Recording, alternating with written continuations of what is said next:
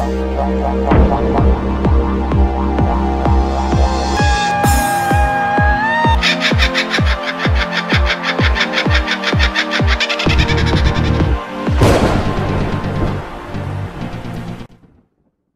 Hey guys, it's Milmo here and welcome back for some more Walking Dead Road to Survival. Now this is just going to be a quick tutorial on the new scavenger camps and how to run missions. Basically, I made a few mistakes in the first video and my first few missions and I've since learned from them so I'm just going to give you guys the heads up on a few little things and hopefully help you out with what the scavenger camps are and how they work. Now, we just the first thing I want to start with is your XP here. So as you can see, I've got 16 and a half XP. Now, XP doesn't mean you get 16 and a half per player. It's actually split between all the players. So whenever you see XP written up there, that XP is split between how many players you're going to take in. So if you take 5, it'll be split between 5. If you take 4, like here, 4, 3, 2, 1, so on.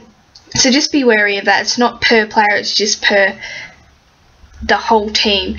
Now, um, also I'm going to talk about challenge bonuses and other things, but just with the XP also, make sure you're not sending in um, maxed out tiered players, so tier 1, tier, tier 3, tier 4, etc. If they're maxed out on that tier, don't send them in because you will lose your XP, they can't actually gain XP.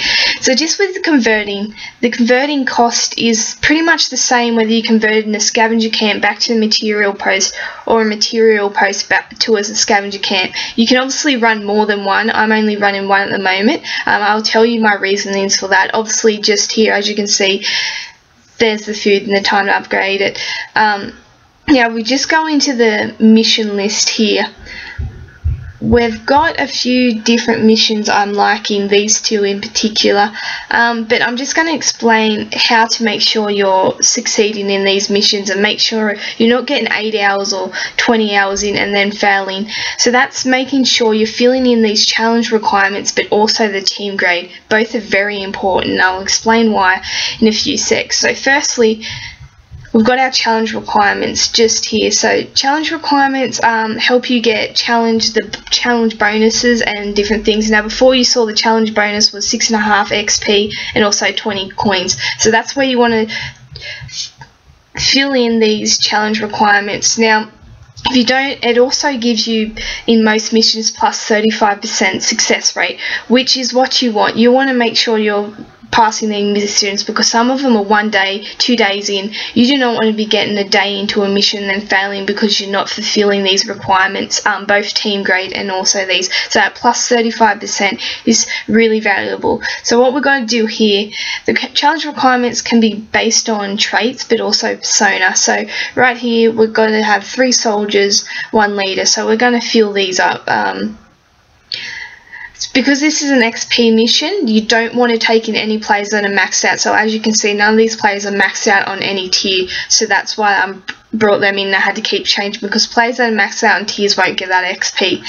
Now, as you can see, plus 35% success rate is what I get with them challenge requirements being met. And I've got a guaranteed down the bottom success rate, and that is because I've got the B++ plus team grade and also re and also meeting the challenge requirements. So they're both good. That's the green tick both ways. You want to make sure you meet them requirements, but also the team grade. I know people go on that team grade doesn't matter. I've heard a few people say that it doesn't matter. It actually does matter. As you can see here, you take one away, team grades B+, plus, you go to success rate of high keep going, your team grade goes lower, you go moderately high. And the more you keep going and taking them away and the team grade going lower, the lower your chances of success rate will get. Even with a high success rate, you can still fail a mission 20 hours in, 2 hours in, a day and a half in, you can still say, fail that mission. So that's why it's not only important to be filling these challenge requirements, but more importantly, your team grade. Your team grade is more crucial than your challenge requirements. Challenge requirements get you bonuses, the challenge bonuses,